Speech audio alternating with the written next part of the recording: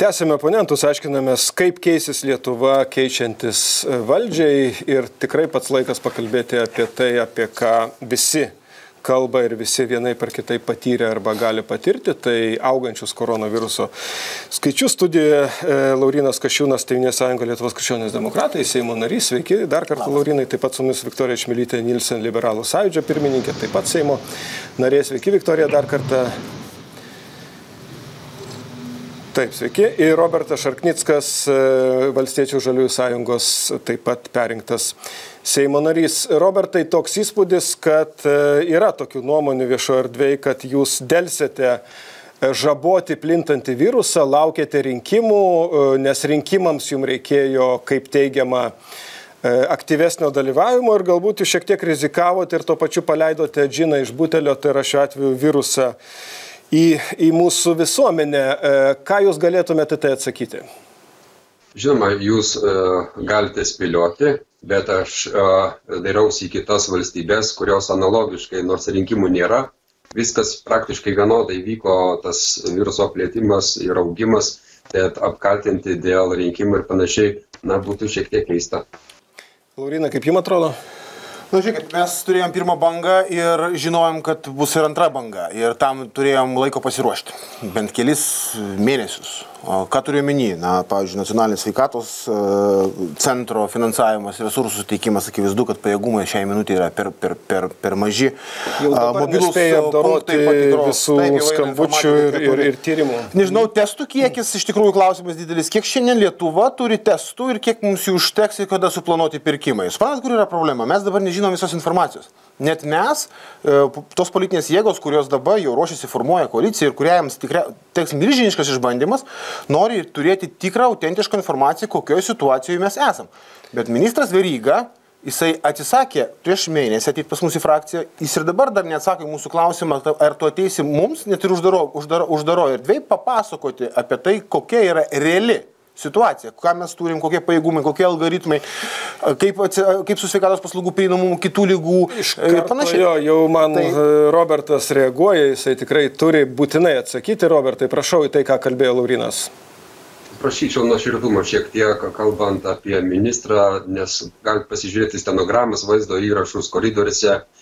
Jis praktiškai visada lankydosi jūsų frakcijoje būtų labai gerai, kad laikytumėtės ir, na, tam tikrų padarumo dalykų.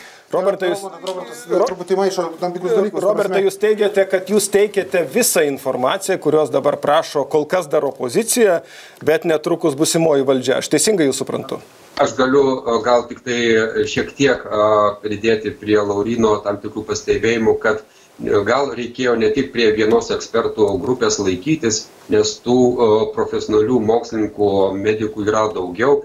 Ir jeigu matosi, kad kažkur šlubuoja, automatiškai turbūt reikia vėl performuoti tą grupę, kad galėtų prisijungti kiti žmonės. Gal taip galėjo būti. Taip, Laurinai, trumpai.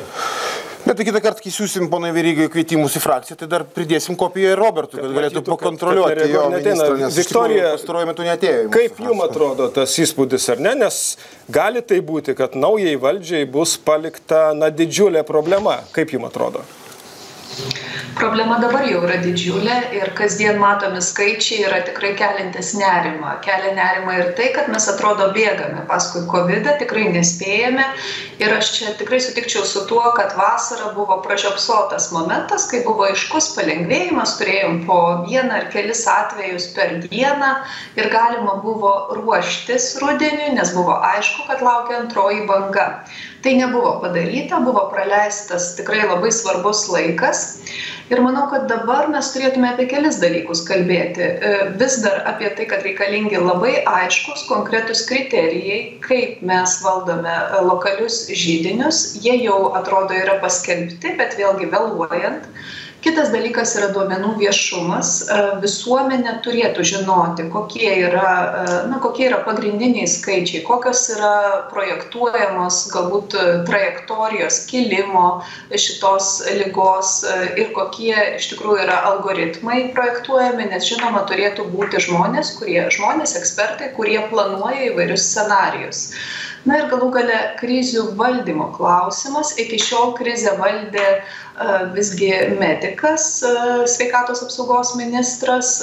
Manyčiau, kad kai kurios nesėkmės parodė, kad labai gerai būtų, kad daugiau įsijungtų į krizių valdymą ekspertai ir tikrai iš tiesų labai svarbu, kaip pavyks per tą laiką suformuojant valdančiąją daugumą, kam bus pavestas sveikatos apsaugos ministro postas ir žinoma, kokia bus komanda krizių valdymo, nes tai klausimas yra tikrai nebe politinis, o visos e, valstybės ir visų Ačiū. žmonių saugumo klausimas. Ačiū, Viktorija Laurinai. Galima premjerė e, Ingrida Šimonytė taip pat kalba, kad e, bus kitoks požiūris į valdymą, bus kitoks, e, reiškia, dorojimasis su šita bėda, e, bet vis dėlto jums yra tas įspūdis, kad šita valdžia jau kažkuria prasme na, evakuojasi, jeigu taip galima pasakyti, ir užuot sprendusi problemą, tiesiog reaguoja į problemą ir, ir realiai jau susitaikiusi su tuo, kad e, ją spręs jau kiti. Yra toks įspūdis jums? Tas ir liūdna, kad yra. Yra tas įspūdis. Aš nes manau, tai gali būti tik įspūdis, ar ne? Mes negalime priemonės, teikti, kad taip yra, nes galbūt mes klystam. Kai kurios priemonės ribojančios galėjo būti na, įgyvendintos bent keliom savaitėm anksčiau. Kai kurios ar, priemonės, kurios dabar įgyvendintos, manau, jūs sakote, kad valdžia vėlavo. Taip, ir aš manau, kad rinkimai yra faktorius, nes buvo suvokta Matot, žmonėms iki galo nebuvo paaiškinta po pirmos bangos. Čia įvyko kažkoks psichologinis lūžis. E, pirmoji bangoji mes buvom pakankamai disciplinuoti ir suvokėm, matėm skaičius Italijos. O ir visą kitą. rinkimai jūsų manimo čia galėjo lemti? Tai, kad nutolintas priemonės. O kodėl? Nes kai tu, prie, na, kai tu na, prieimi ribojančias priemonės, tu dalį žmonių supykdai. Natūralu, bet tai nereiškia, tu nepaaiškinai nepa, strateginės komunikacijos klausimas e, šiuo, e, dėl pandemijos irgi labai rimta bėda.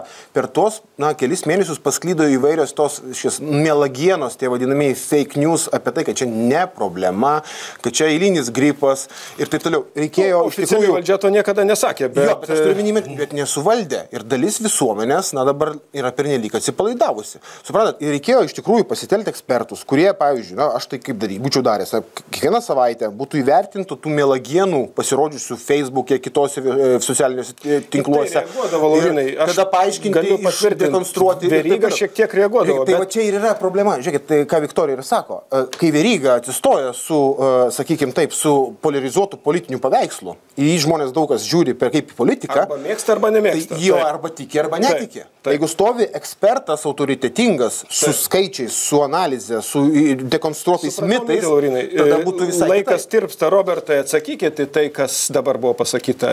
Net keli punktai buvo kaip priekaištai jūsų valdžiai pasakyti. Na, kas būtų, jeigu būtų dabar čia visi sėdim, spėliom ir panašiai. Ir PSO, Pasaulio sveikatos organizacija, kalba, lyginant su visom kitom Europos valstybėmis, kad Lietuva ganėtinai labai neblogai tvarkėsi iki net iki šio momento, galiu pabrėžti. Ir ką minėjo Laurinas, tarkim, socialiniai tinklai ir panašiai, fake news ir panašiai, Žinokite, aš noriu Jums pasakyti, net žurnalistų etikos inspekcijos tarnyba nespėjo tų dalykų apdoroti fiziškai neįmanoma, tai supraskite jo, ir iš Robertai, priekaištai buvo dėl to, kad jūs nenorėjote pykdyti dalies visuomenės ir dėlsėte prieš rinkimus priimti sprendimus, kuriuos dabar priminėjat. Vis tiek aš laikysiu tos pozicijos ekspertų vertimo tiek pasaulio sveikatos organizacijos. Žinote, kiek žmonių, kiek nuomonių yra. Visiems mums lengva kalbėti, kai nesame ekspertų grupė ir panašiai. Ten žmonės dirba dieną naktį. Įsivaizduokite, taip, bet, tai kosminis darbas. Akivaizdu, plus dar rinkimų fonas, ar ne? Tai padaryti reikėjo taip per tos kelias mėnesius, kad nereiktų žmonėms dirbti dieną naktį, kurie net laiko krūvių ir nedidelių atlyginimų ir išėjo jau iš sistemos, bet sukurti, padidinti resursus, padidinti tą intelektualinę jėgą tame pačiame nacionalinėme sveikatos centre, kad žmonės būtų nu, pajėgus institucija atlikti savo darbą. Panašu, kad palikta jums tai padaryti bus nu, tai visai... evakuacija. Nu, vyksta. Evakuacija galbūt taip. vyksta, jo gal jūs geriau žinote, reiktų paklausti. Labai trumpai, Viktorija, sveikatos apsaugos ministras ministras, suprantu, nėra jūsų taikiklyje. Kaip, kaip pareigos turiu menį e, būsimoje vyriausybėje, bet 10 sekundžių. Mes buvome įvardyję savo e, kandidatą į sveikatos apsaugos ministeriją ir taip ši tema, šis rytis, žinoma, yra taip pat viena iš prioritetinių, bet e, tai yra dėrybų objektas, tai šiuo momentu negaliu detaliau apie tai kalbėti. Priminkit, meras jūsų kandidatas ar ne, vieno iš miestų? Taip. Taip, Audras Kišonis. Taip, kurio, kurio miesto meras, priminkit? Plungės. Plungės, Audrius Klišonis. Laurinai, jūsų taikiklėje sveikatos ministerija, jūs imsitės atsakomybės? Čia dabar, kai kalbam apie tokį jautrų dalyką, tai labai trumpai, ne- labai ne- trumpas ne ta atsakymas. Tai, yra, tai bus visos vyriausybės atsakomybės, iššūkis ne? visai vyriausybei. Bet gali manyti, kad Tai- konservatoriai pasiliks savo šitą Na, aš manau, kad naštą, jeigu taip nu, galima tai yra sakyti. labai sudėtingas, reikalaujantis bus sudėtingų sprendimų ir tas žmogus bus, na, po, po pavadinimų Supratau. ir, ir be abejo reikės... e, kas- Ne, mes- nesikratot. Nesikratot. Nesikratot atsakomybės. Ačiū Laurinas Kašiūnas, Tevinės sąjunga Lietuvos krikščionės demokratai, Viktorija Čmilytė Nilsen, liberalų sąjūdžio pirmininkė ir Robertas Šarknickas, valstiečių žaliųjų sąjunga buvo su mumis. Dėkui, kad žiūrėjote, netrukus žinios iki kitų sustikimų.